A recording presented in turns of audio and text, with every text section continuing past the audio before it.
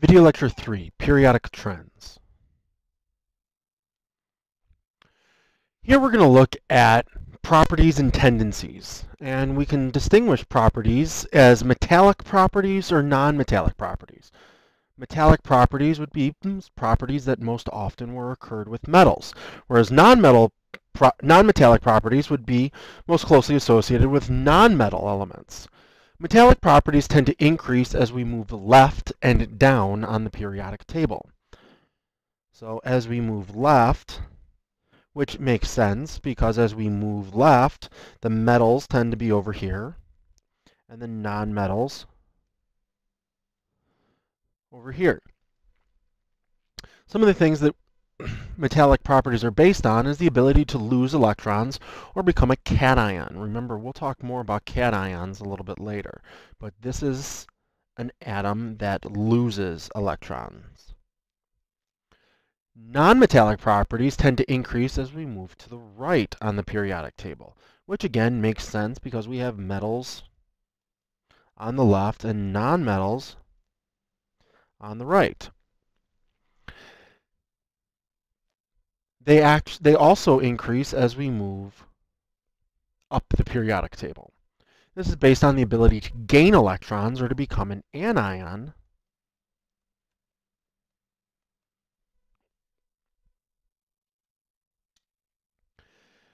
Atomic characteristics vary systematically as we move throughout the table. Some of, the, some of these changes that we'll see is in atomic size, ion size, ionization energy, and electron affinity. These are often caused by electromagnetic forces. The nucleus is positively charged and the electrons are negatively charged. The result of this is attraction. The attraction that exists between the positively and negatively charged parts of the atom. The more protons and the more electrons we have, the stronger the forces pull, uh, that are that are pulling on the electrons towards the nucleus.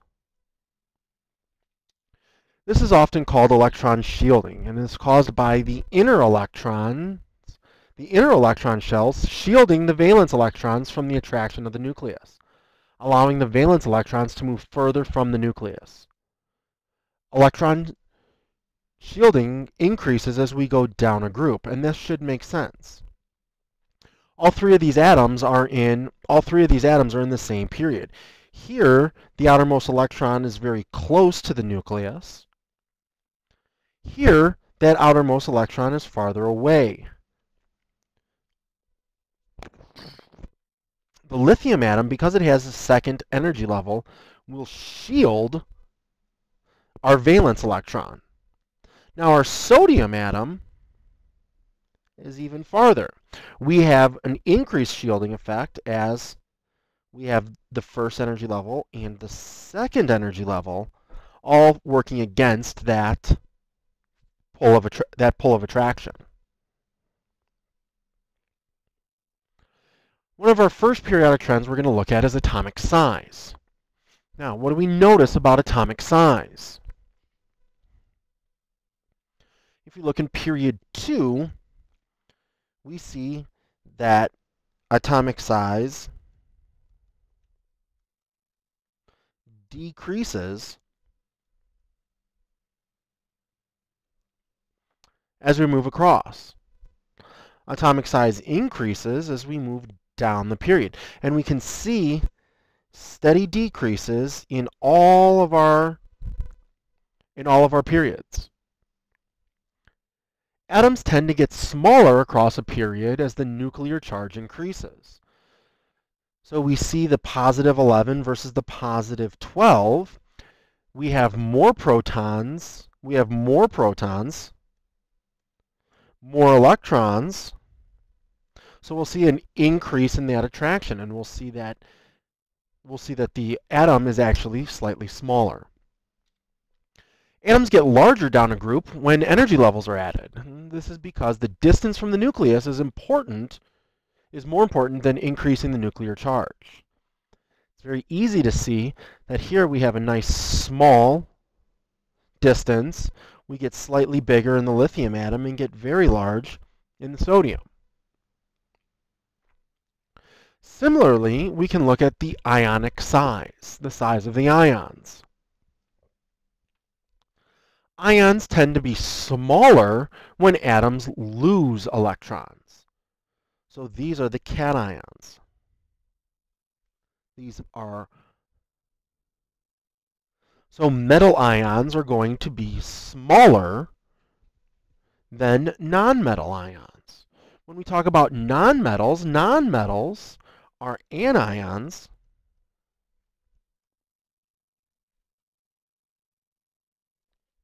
they tend to be larger.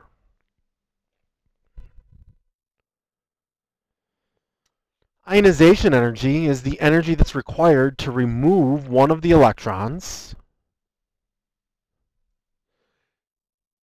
and it's a measure of how strongly an atom holds on to its outermost electrons. Ionization energy decreases as we move down the group and increases as we move from the left to the right. Now, if we go back, if we go back to look at our atomic size, it should make sense. Here, our outermost electrons are very close. So we can hold, so the atom can hold on to the electrons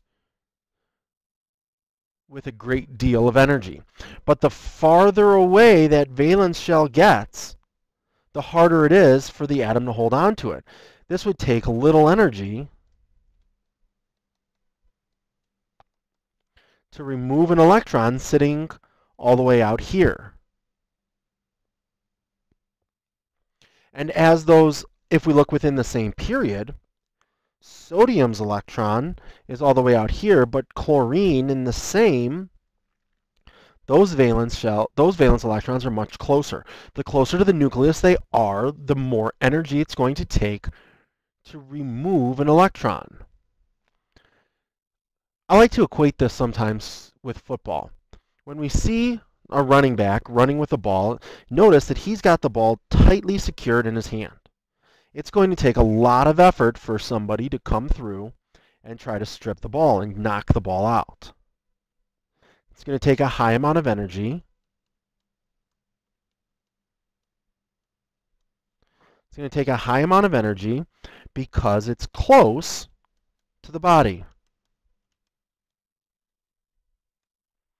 But now, if we start to move that ball a little bit farther away from the body, Notice that it's not tucked up here. It's not covered as well. Our defenders can come through, knock the ball out with less energy because the ball isn't as close.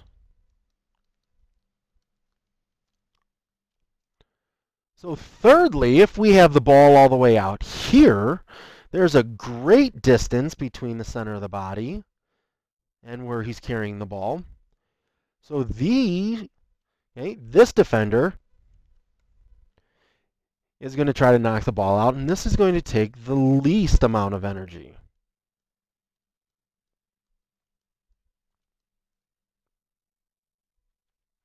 Because it's so far away.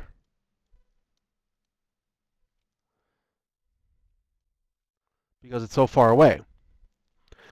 Our first ionization energy is the energy needed to remove the first electron. So here we see our atom plus energy. This is our ionization energy. Will lead to a cation, the positive charge, and a free electron because it was removed from our initial atom. If we look at the ionization that occurs within magnesium, we see a small amount of energy needed to remove the first electron. In fact, we see 738 kilojoules of energy. The second ionization energy is slightly higher, but it is higher. 738 to 1450. The second ionization energy is higher than the first. If we were to go through to the third ionization energy, we see it even higher, 7,733 kilojoules, in order to make a magnesium plus 3 ion.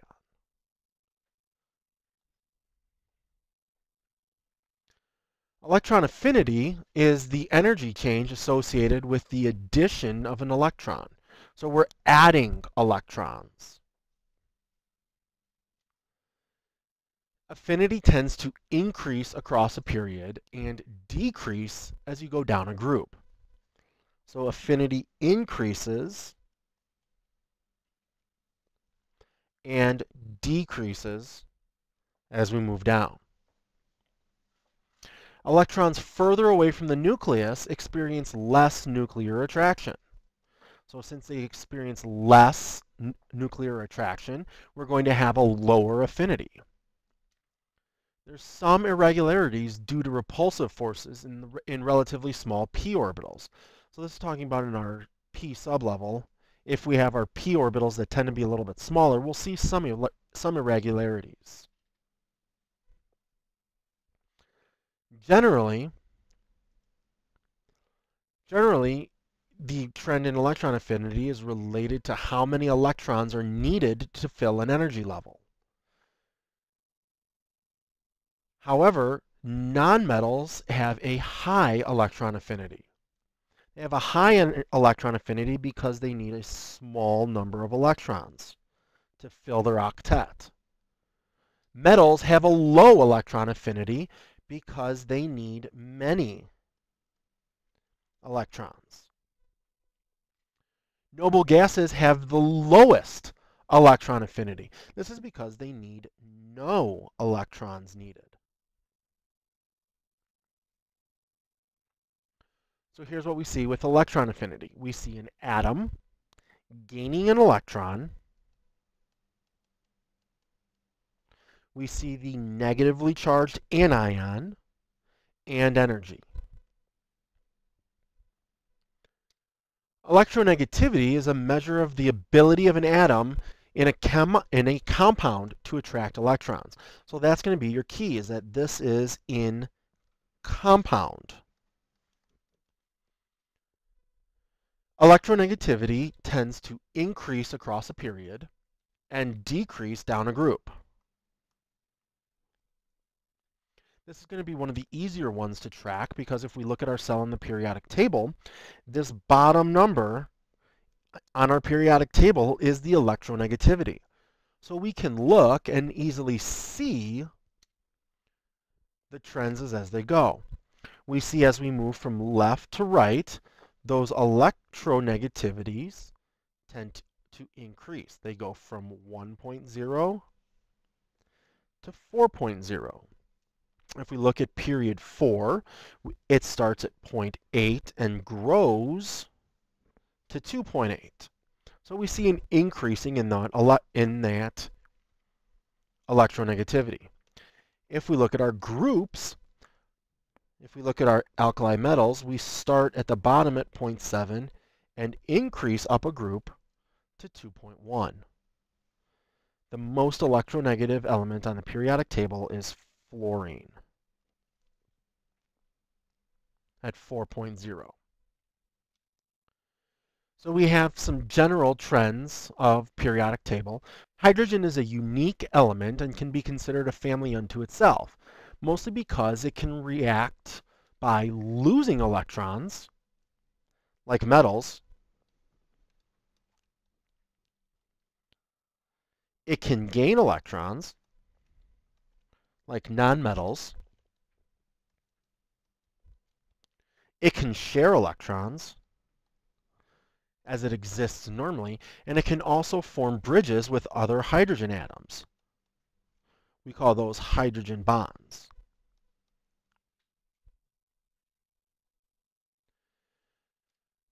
Now, chemical activity refers to how active or how readily metals and nonmetals will react.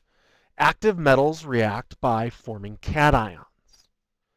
the most reactive metals, or the most active metals, are those which can easily lose an electron.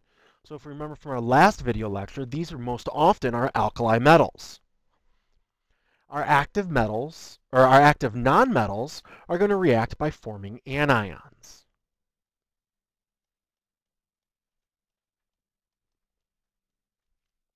The most active nonmetals are, tend to be the ones that gain electrons. If you remember from our last video lecture, though, that would be the halogen family. So our active metals are going to have a low ionization energy, while active nonmetals will have a high ionization energy.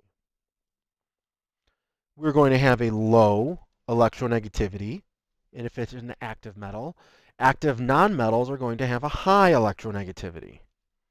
And finally, we're going to see a low electron affinity and a high electron, electron affinity in our active nonmetals.